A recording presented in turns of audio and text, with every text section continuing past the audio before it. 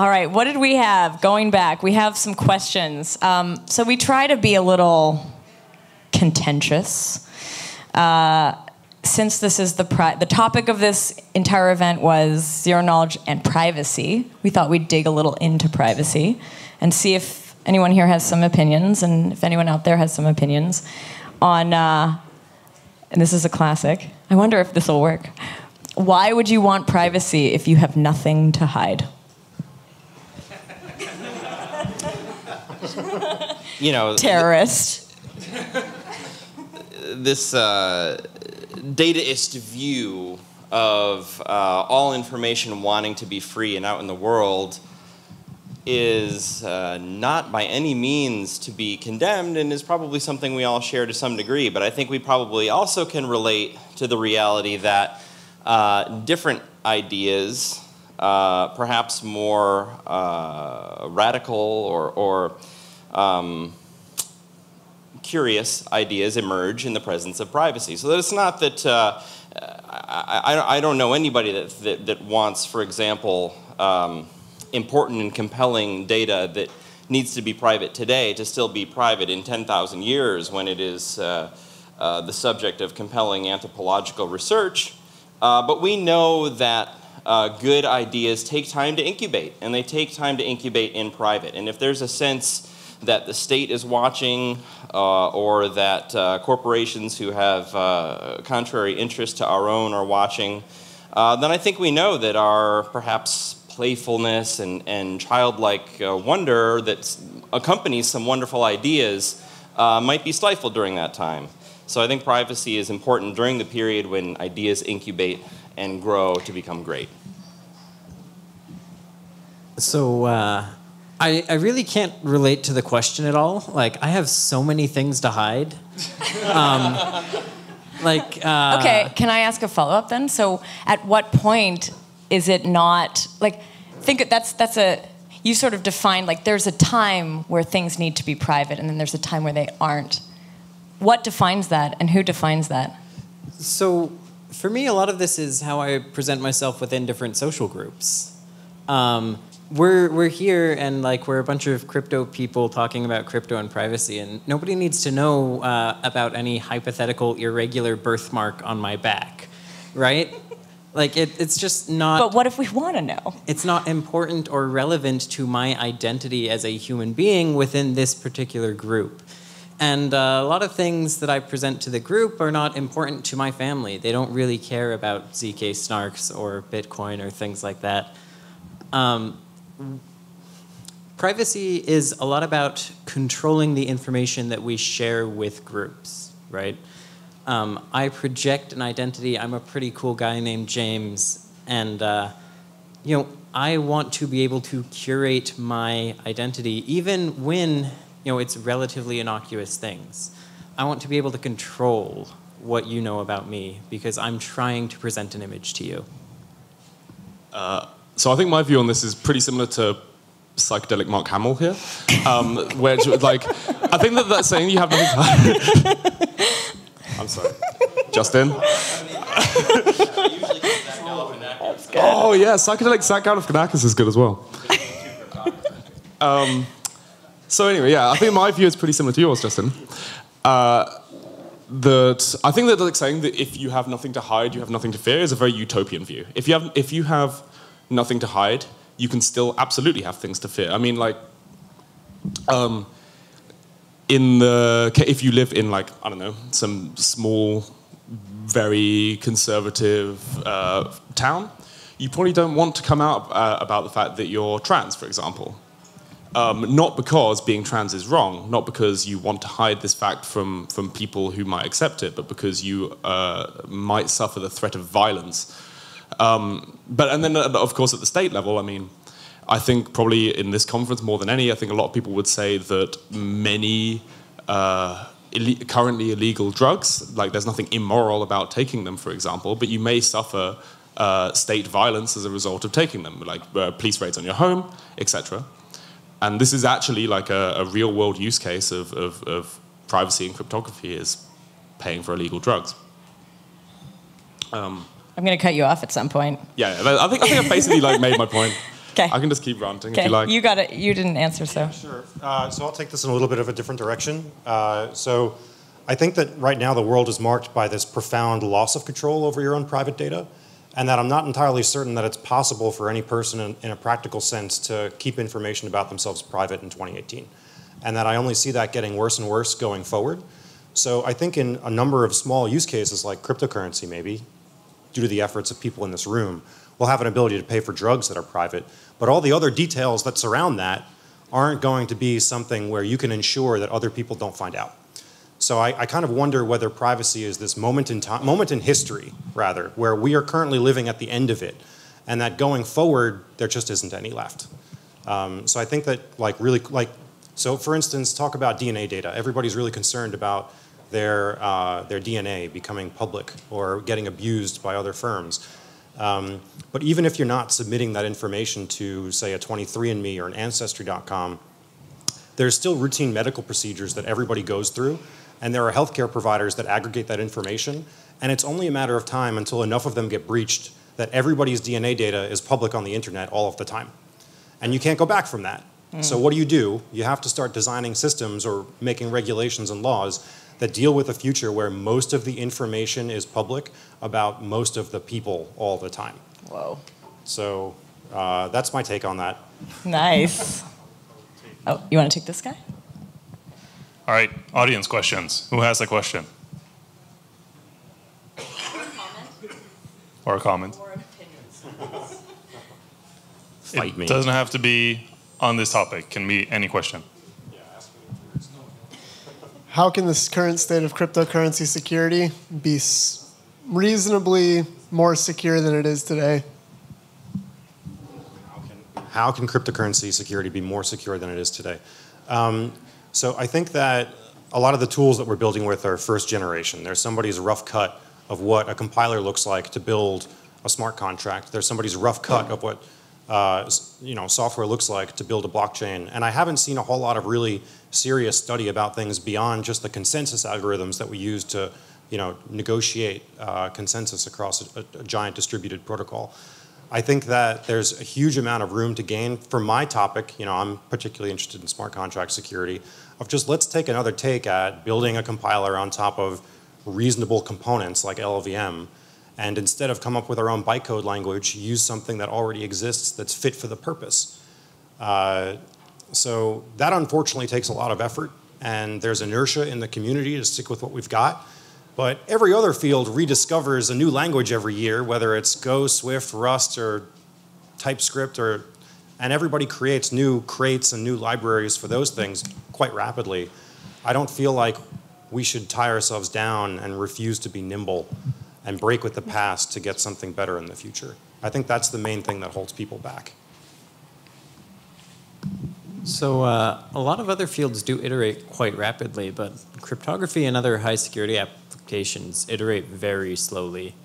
We've had OpenSSL as a standard for quite a long time, and you've seen like NaCl, libsodium based stuff coming up, but overall, like cryptography and high impact applications move pretty slow. I don't know if we want blockchains to be rapidly iterating. Sure. So I think you could split that in two halves. I do agree with you on the cryptography part. Take slow, consistent steps forward and verify appropriately. I think there's other parts of it that you can break down. Like I would love to just rewrite the Solidity compiler from scratch, and I know I could do it, and it would be fine. Um, but like, here, folks. yeah, no, I like it, it. It's not a high assurance piece of code, and you have reusable, reliable underlying components that you can build with. Um, you know, the, the LLVM team has done some amazing things with it. Uh, so yes, I think you're in a different position when you talk about like how do we deploy zk snarks on a broad scale, or how do we, you know, more efficiently build them. You probably don't want to dive into it. Oh, wait, wait. Before we, you, I think there's some other people that need to answer.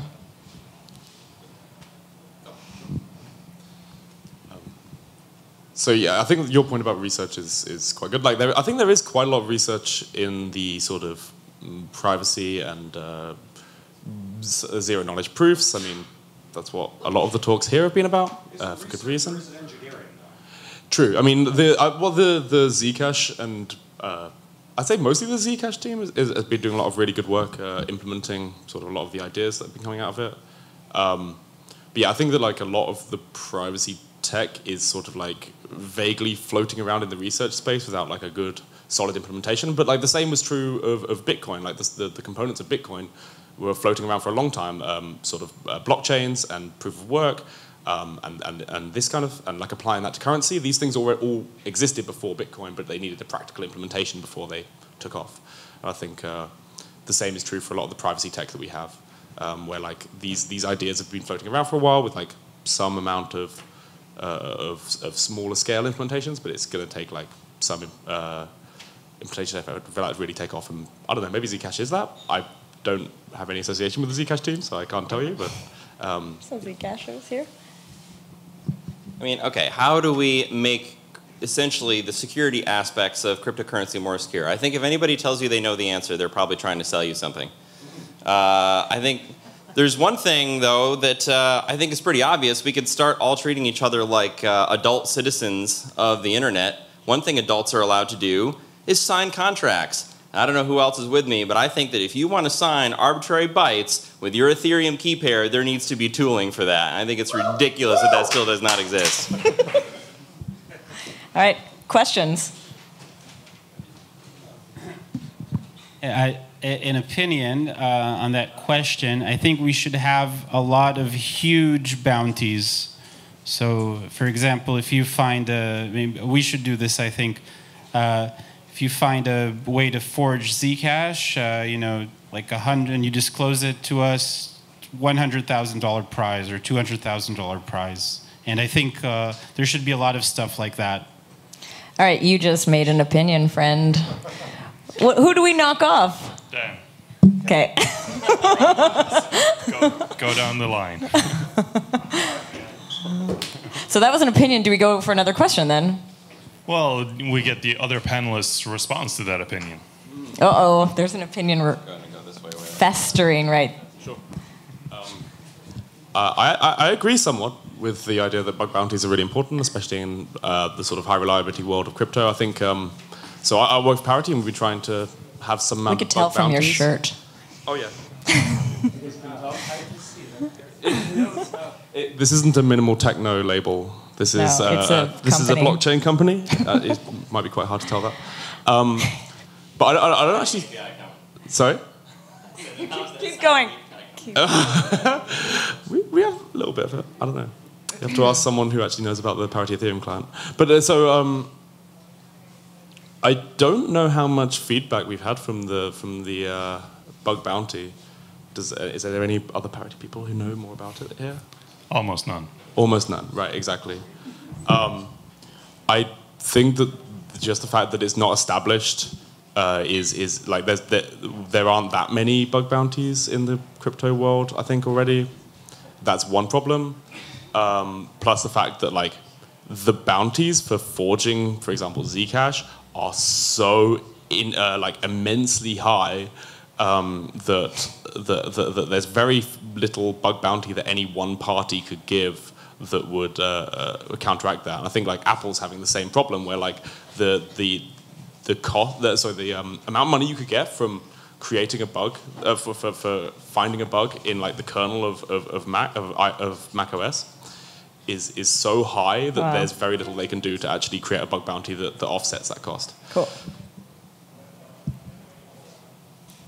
I don't know. uh, Bug bounties seem to me, I, I I mean, although it's hard to argue with the reality that they sometimes work well, uh, they seem to me to be kind of stuck in uh, the old orthodox financial notion uh, that exactly one person is responsible for compelling change in the world.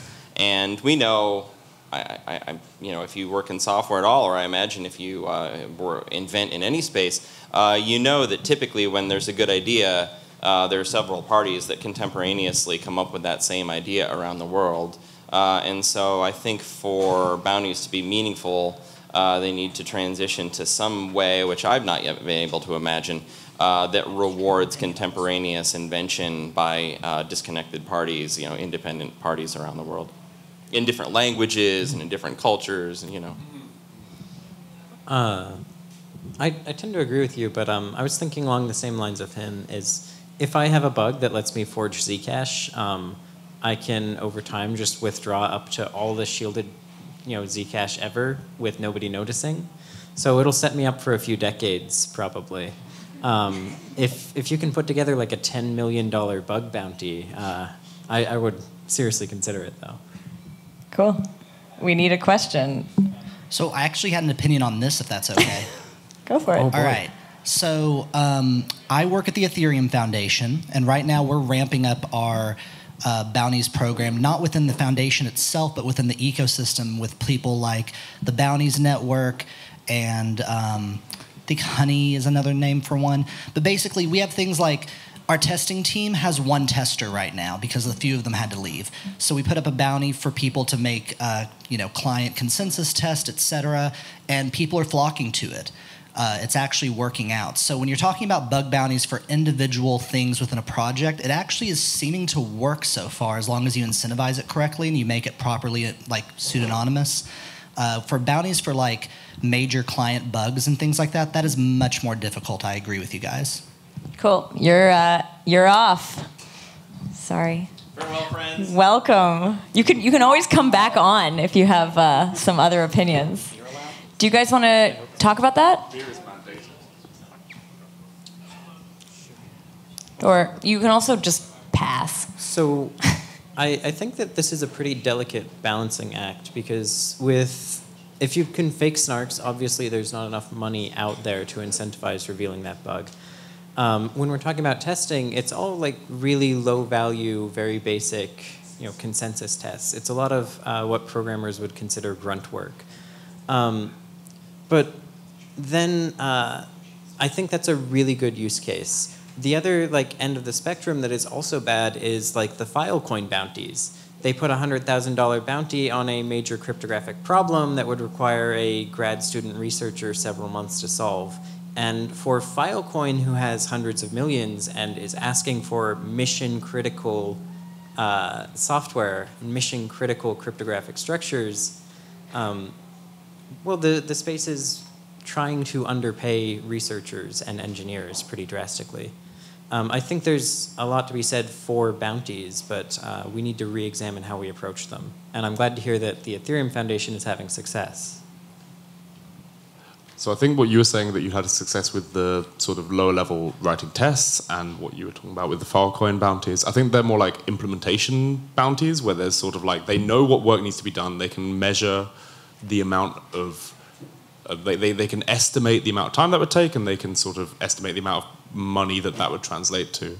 I think that's quite separate to a bug bounty of if you find a bug you can get this amount of money, which are a lot they are a lot harder to sort of estimate the, the, the correct sort of financial incentives there because you don't know what the bug is really. I mean, you can tell you can you can price it per area of bug, um, but even the impact, like you can only get so coarse grained. Um, I think that maybe uh, implementation bugs are like a lot uh, simpler, and saying that something works as implementation uh, as an implementation bounty maybe doesn't necessarily translate to success for bug bounties. yeah, I just want to add, uh, in terms of purely financial gain, you, yeah, you couldn't make a bounty high enough that it would would be better than exploiting a, a forgery uh, bug. But I'm guessing typically it, it will be like a person who's at least kind of a, a good person, but has also some temptation. in such a case, I think okay, maybe it shouldn't be a high, maybe 200,000, 300,000. You know, it should be high enough that for a reasonably moral person who's not an angel, he would prefer that path than to exploit the forgery. Okay, questions. Let's see the hands. Give some new people a chance. That's a good one. Well, even if you would gain like 10 million from exploiting the bug, then that 10 million in your life as a real world person would be very difficult to cash out and it would be very difficult to launder that That money. an- that's an opinion. So it would be better to report it to a bug bounty that would give you at least, let's say, 500,000 or maybe 1 million. I mean, there is that notion of dirty money. And how do you value dirty money versus clean money, right? Hmm. Opinion. Yeah. Okay. James. Oh, you're up. You always come back up. Oh, so many bottles.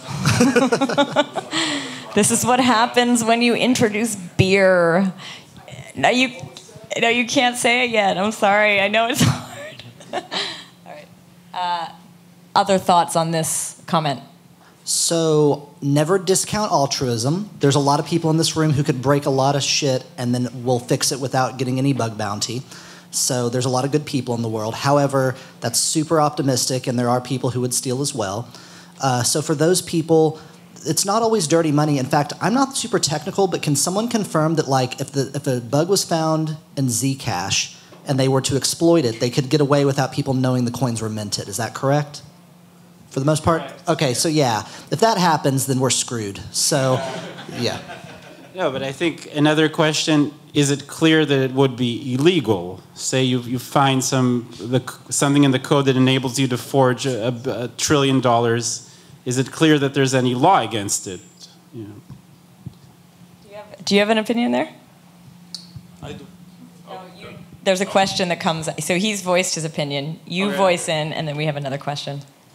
I, I don't think you could make. There's very few arguments you can make that that would be illegal, right? Like it's the the crypto space is still pretty unregulated, even though ICOs have had some attention recently. Um, and like security by sending the police to your door is not a very uh, reliable or, or trustworthy form of security. Like just saying that something is secure because it would be illegal to to to, to break the security is is not very convincing and, and does not inspire trust. Because you know it's it, it's security that can be defeated by a crazy man with a big gun, uh, or or at least um, yeah whatever. Hey. Okay. Uh, questions. So for bug bounties, I feel like there's two really important questions to get everybody on the same page that need to get answered. The first one you hinted at, which is, do you think that a bug bounty being available changes someone's behavior from bad to good? And then the second is, do you think that bugs in, say, cryptocurrency clients are sparse or dense? Because I think that whether they are sparse or dense oh, determines a strategy for bug bounties being effective or not. He he almost had a question. No, well, Do we no, give it to him? What do two we What do we say? Don't put me up there. You yet. get you you did you did. I'm, I'm leading the witness. What is, yeah. Frederick. I'm. I need a. You're the jury. What do I What do I do? My, my vote is for that it's a question. Opinion. You're up. Oh, Can I answer it though? oh yeah, please. There's also there's a bounty for finding a bug in the protocol here of people exchanging. Yeah. So regarding if bugs are dense or sparse, um, and I maybe didn't understand your question entirely accurately, I guess the way you phrased it, but um, for Ethereum, we have a fuzz tester, and that finds bugs a lot. That found like nine consensus critical bugs within a week of our release period, right before we released a, a hard, a hard fork, like breaking change.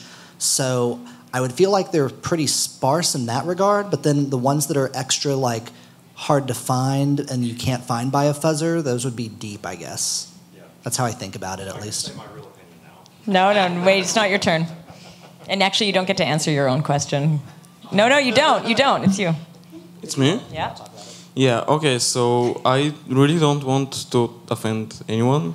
I, and um, no, I, I mean, the, the, the team at Go Ethereum is amazing.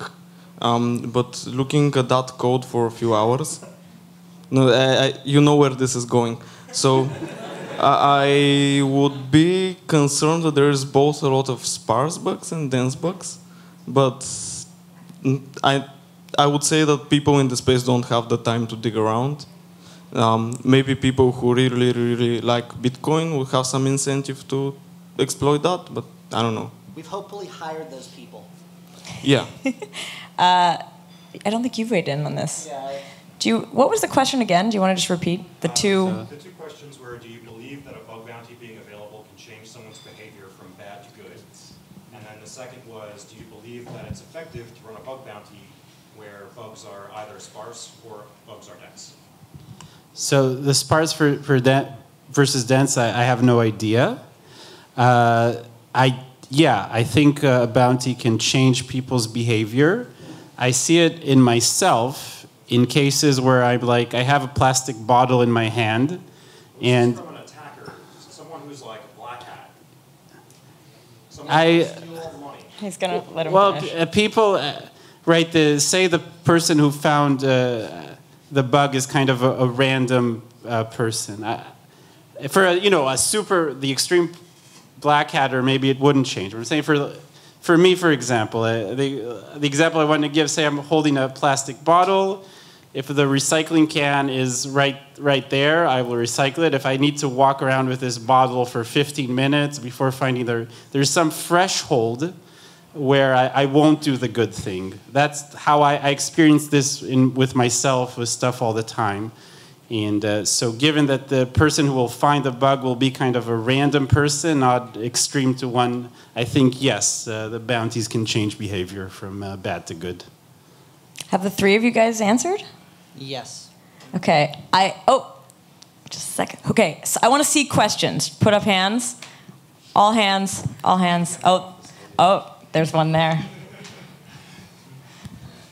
I mean, uh, when you have a lot of these, I guess what you would call sparse bugs, uh, it depends how much work a researcher has put into finding that bug. Because, for example, if the bug bounty is $100,000, and actually you were asking for questions, this is an opinion. That's totally an opinion. oh yeah, no, I just meant like thing, like hands. I, but, I do have a hand up. So, Okay. uh, if a researcher has put like hundred thousand dollars of his time, like what he would get paid at a university, for example, like uh, to finding this bug, and then uh, the bug bounty is only fifty thousand, then you know he really doesn't have an incentive. It's like, oh, he can't cover his living costs. He's put that incent- He's put that money in. Uh, so what you would need is is bug bounties probably where the payouts are variable, where you say like, look, I found this thing. Uh, I'm not revealing it until you commit to paying me like that much. That's my. That's called something else, isn't that? blackmail. something. Okay, That's you're called up. an incentive system. You're up. You're up.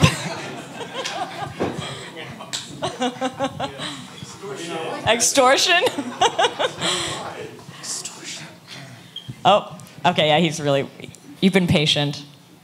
all these answers imply that the bug bounty actually pays out and that the vendor actually wants to say that they have a bug in their software, which is not the case in the majority, well, not the majority, but in some of the larger vendors.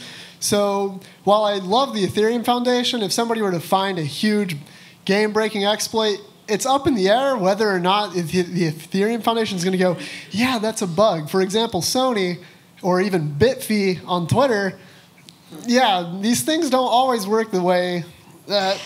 It's very opiniony, and it sucks because it's a shame you don't get to answer that. But I'm on the security team. We'll never do that. nice. Okay, you're up. Oh. Yeah. That was not a question. By the way, when I say questions, I mean like whatever you want to say. Hands, basically. Uh, should we get answers on this? Yeah. Yeah, so I think fortunately in our space, um, bug bounty programs have been pretty correct. Like I've seen a lot of payouts, especially by the Ethereum Foundation. Um, but yeah, going forward, we might see the behavior that we see like with Bitfi Wallet or with Apple, Microsoft, whatever. Um, so yeah, pretty much, pretty much that. And regarding whether uh, a bug bounty can change the behavior, um, everyone here is like calculating the hours of researcher's time, but there is also another aspect. Um, projects working using these tools and using um, basically everything from this space can discover bugs uh, by themselves. For example, um, one of the projects that I worked on discovered a bug in the Solidity compiler, and we didn't have any issue with reporting that because it did, actually didn't take any extra time.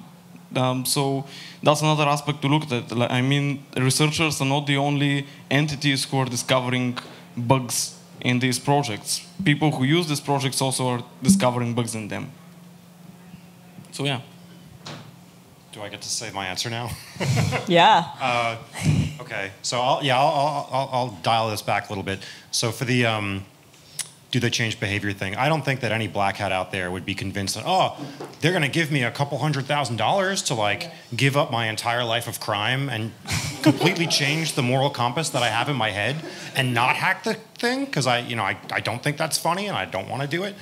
Um, so they're a method of rewarding people to create a more active contribution network and a more active just group of collaborators.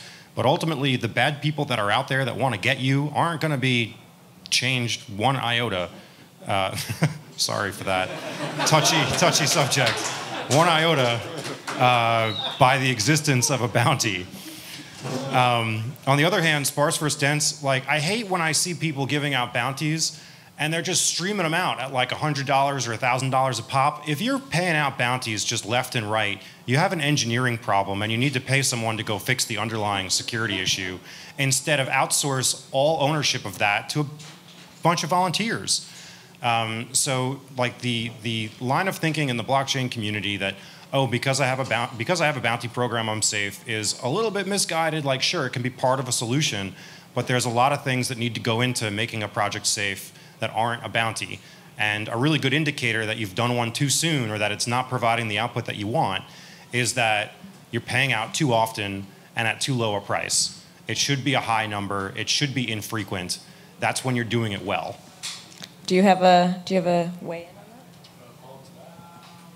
Uh, I would need a microphone.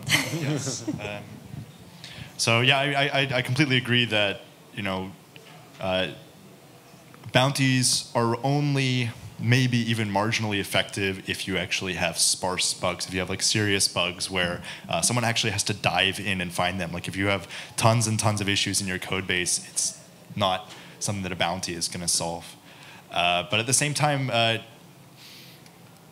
of course, it's not going to flip the people who are chasing that huge bag, like the hundred million dollars that they would get if they exploit some bug in the wild.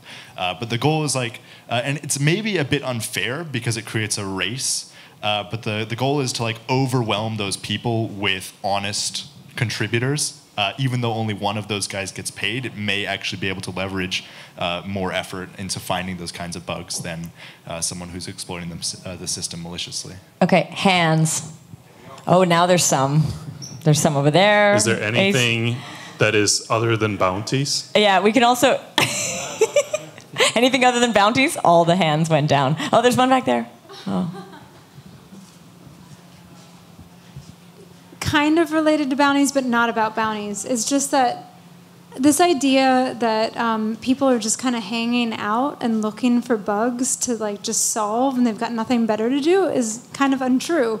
And related to that is the pipeline of how are we making sure that more people are acquiring these skills and solving these problems within the community. So I think that, yeah, when it comes to the bug bounties, it's a nice idea, but it's not fully realistic that people need to make a living and people need to, like they've got other things in life that they care about they need to come up with um, yeah how are they going to pay their rent and stuff and they're not like okay i'll just spend a few months looking for this big problem because i got time to spare a lot of people don't have that luxury in this world and so um, how do we help people make a living and then also how do we help them like per, like become part of this pipeline and ha- share this knowledge You're up. Okay. Come on. You're out. Really well stated, though. Nice. A well stated opinion followed by a question. Do you have any thoughts on that? Uh, the question is like whether it actually exists that people are doing, like just taking a few months to look for bugs. I think that's very, very unlikely. Uh, But even the really, really like awesome payoff bugs.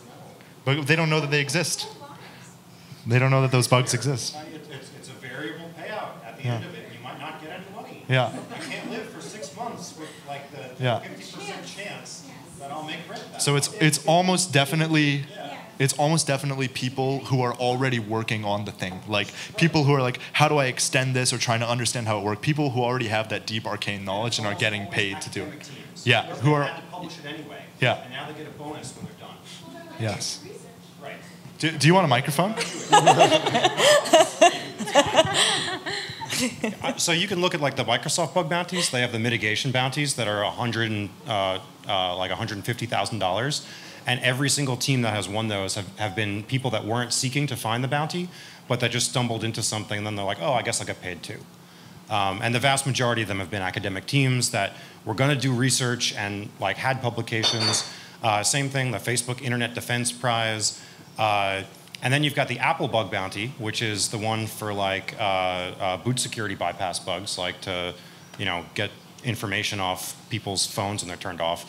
And uh, no one has claimed it. because even though you set out this enormous prize, what you were saying that like, okay, it's going to take about a 12 month dedicated engineering effort with about a team of four people, and then we'll get a $200,000 prize out of it. There's no amount of money that you can offer that makes that make sense. Um, so uh, no one has claimed that bug bounty. That is a poorly engineered bounty. All right. Yes, sir. Question. Wait, there's one. I think you didn't weigh in yet. You didn't answer that, did you? Yeah. Um, well, I just I no, I just mirroring their opinions on this. Uh, people think that if, if people think that they're going to be uh, researchers out there looking for bugs in your project just because you have a bounty, well, you're sadly mistaken because for the majority of ICO projects out there, for example, um, they have a lot, large community, but most of that community is probably either interested in staking, if that, and probably just uh, waiting to find a return on their tokens itself. And they're not necessarily combing through the code to find bugs to help you out. And if they are, they're probably more closely uh, uh, acquainted with your project through maybe the, through the developers. Um, and even then, it's still iffy. Uh, I, I really just having a uh, bug bounty pro- uh, project does not ever at all imply people are ever going to find these bounties or that you're going to pay out. Just I can toss this on its head now too. So the second part of your question was how do we train people to look for bugs more effectively, right? Yeah, And give them a way to make a living. Okay, la- last point, more questions. But what do you want to say? Oh. says I do bug bounties for a living. Right. Well, what I was going to say is students do. Yeah. That's that's the best audience for bug bounty do. stuff because five hundred dollars is a meaningful amount of money to a twenty-year-old. so how do you train up a whole bunch of like Who's next 20 out generation there? of people? Sorry. yeah.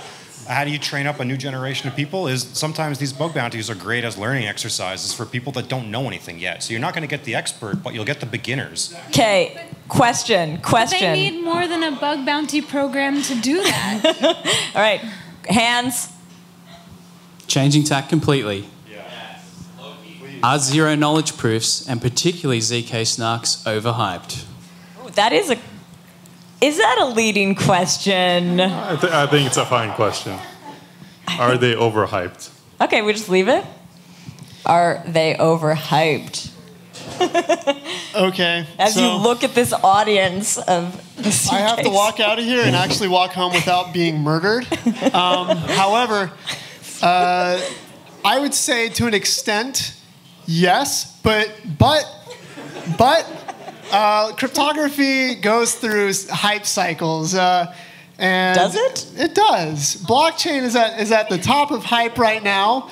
Um, zk snarks are sort of you know at the top of along coasting along with this as well. Um, right now, there's probably not that many people in this room, maybe on two hands, if that, that could probably walk anybody through the math of the ZK snark right now. Uh, with that said, it might be a little overhyped, and we have roundtables to help curtail this so people can learn how to apply them properly and when to know when they can apply them. Um, in some cases, I've seen some examples where they may have been able to use more traditional cryptographic means of just regular proof of knowledge than an actual ZK snark, which is way more complex. Um, so, yeah, I, I think it's rel- just a little, just a little. Please How don't kill me. Go, go this way. What do you think? Is it Hmm. overhyped? Uh, so I, I personally don't think that they're overhyped. Like, sure, they're complex, but there are a lot of things that are complex and still useful. Like you don't actually have to understand how something works to understand its value. Like what academics do a lot of the time is just create sort of black boxes. Like they'll design like, oh, here are the, the here are the, the, the properties that this protocol has to fulfill, and then you can sort of plug that into some other system, and you have an instantiation. And then in practice, you have probably some library that's well vetted, and nobody really knows how it works except for some like people with deep arcane knowledge. And uh, but everybody uses it, and it's actually effective. Um, the, the only questions that are still open are really just uh, can you make them efficient enough? Can you do things like, I don't know, aggregation well enough? Can you uh, merge proofs? Uh, can we find useful applications? And those are the questions that are still a bit shaky, but I, yeah, probably will get better. I don't know how much better. So, what are we doing to make sure that the people who are able to solve those problems are acutely aware of how those problems need to actually be implemented? Uh, the solutions need to be implemented. So, the feedback loop of the people who are able, yeah, to basically in academia or wherever to do the research and to solve the difficult problems. Do they know what we need? How are we making sure that we're talking about this? That's what I want to know. I think that's what we need to do. And then we won't be overhyped. Uh, so I don't think they're overhyped. Um, so I'm not a cryptographer myself. There are people on my team that are, and I've uh, you know spoken to them quite a bit about use cases for this kind of stuff. And I see that we're just at the beginning of it. I think that there are more complex assertions that you can make with zero knowledge proofs that people haven't tried to do yet. Uh, so like there might be information that a company has that they don't want to disclose. But like okay, so I have a client list. I would like to prove to you that I have such and such people as clients, or, or some number of them, or some value. Uh, but I can't do that right now without just telling you who they are. So trying to find opportunities like that that fit into real use cases for either businesses or maybe even national security, uh, where like governments all over the world accumulate a vast amount of classified information. If there were a way to expose that to the public in a way that wouldn't endanger the actual integrity of the data through zero knowledge proofs, that would be cool. Um, and there's, I think, a lot of opportunities to explore those different use cases in the next few years now that the underlying cryptography has become efficient enough that we can start to try it. Um, so I don't think Cool. they're overhyped. Han- uh, you already answered. Oh, I, I can I just New add? follow. One. Okay. Okay. So I think before we can, and this is my, you say they're not hy- they're not hyped. I say they're maybe just a little bit. I think there's a compromise here, and it is ZK snarks and zero knowledge proofs need to be standardized, and there is some standardization going on right now that everyone in this room should at least attempt to try to participate in. It's that important that this happens. Um, Zcash has been a major helper in that. I think the first one, the first standardization workshop was at ZCon. He's he's not at Zcash at all. Oh, I, oh, that guy left. Whoops. There was one in Boston. Okay, yeah. Okay, yeah. So it was at ZCon Zero. No, no, no, before it. Before? Oh, yeah, that's right. It was. Be, and then after that was the FHE one, I think, right? Or was it after? I don't. Yeah, there were some standardization But- workshops. Yeah. Yeah. so there was a standardization workshop, but everyone in this room who's affiliated and or working on zero knowledge proofs and things like this should participate in that. And before we can really, I think, make a fair ass- assumption that it is hyped, that it is hyped enough or underhyped or overhyped, we need tools that allow us to easily understand when these problems can be applied. I don't think there's enough tools like that out there. LibSnark, uh, for example, is helping. Um, but I'm really excited to see what in the next five years uh, comes out of ZK Snarks and ZK Starks for that matter. Okay, hands. I. Do you still have your no? Okay, your your hand was up for a while.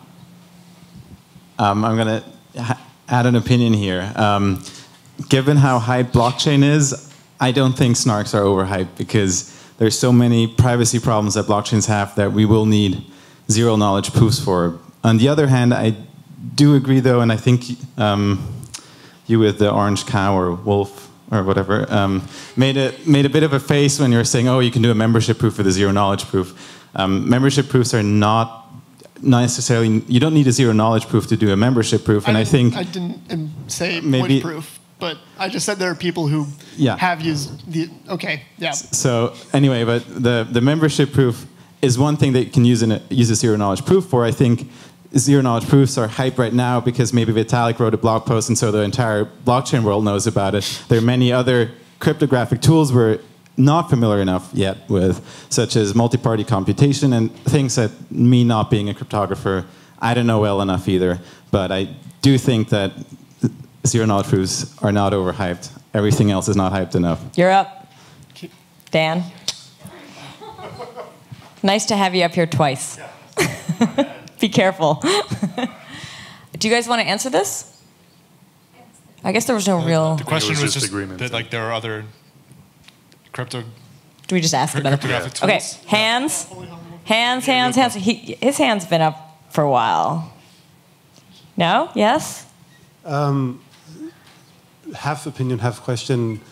Like, is the need for like bounties in crypto completely overblown simply by the fact of specu- like the speculation making it actually worth trying to game the system in any way instead of spending more resources on like doing security work for uh, real security researchers? Shouldn't they prioritize their time like fixing libSSL and all these kind of thing, bugs that actually protect real important data and not just people's virtual currency?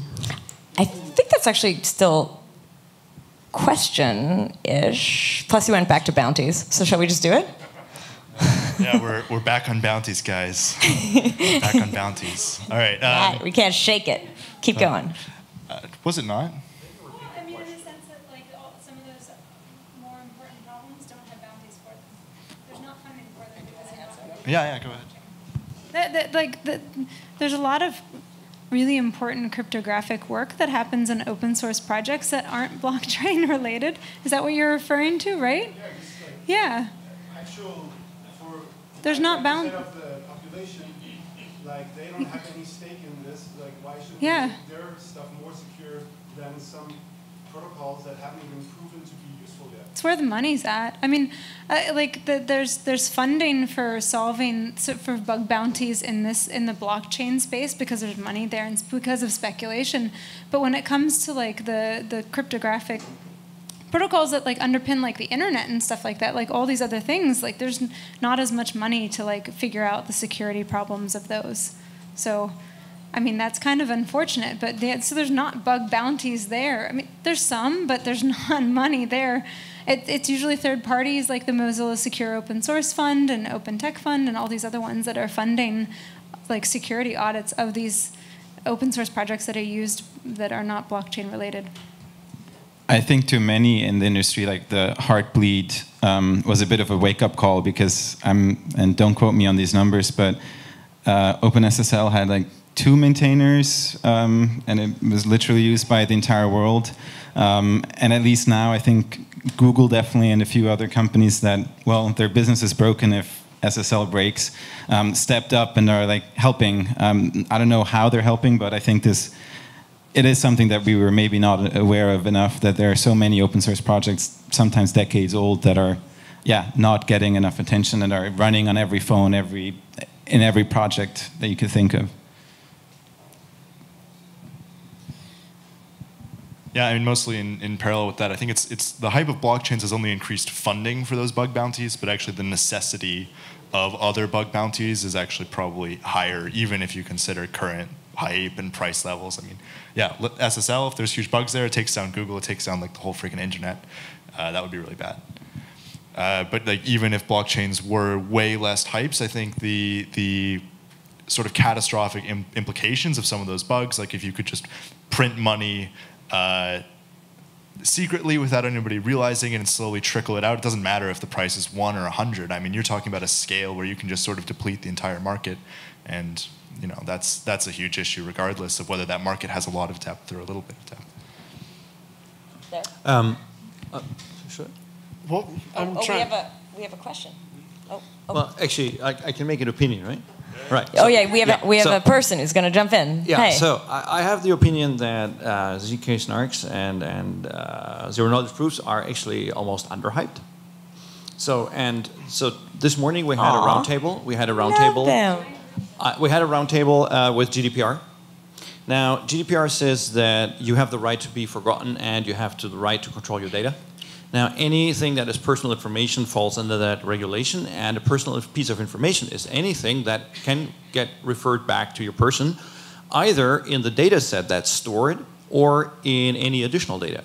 Now, the problem is there's almost nothing that can't be combined in a way to refer back to the, to, to the person, even if it's just a hash or anything. So we will end up with a situation in which we will have to think of security by initial design, where we put the fractions on the blockchain and on the storages that only prove that something has taken place the way that was supposed to, whereas everything else needs to be somewhere else. And this can only be done by homomorphic encryption, ZK, SNARKs, STARKs, whatever, bulletproofs, and whatever comes up there. So this is as close to the magic wand that we can actually use, and I think the ZK SNARK or the zero knowledge proof as such is just as important as blockchain technology as a whole. That was amazing.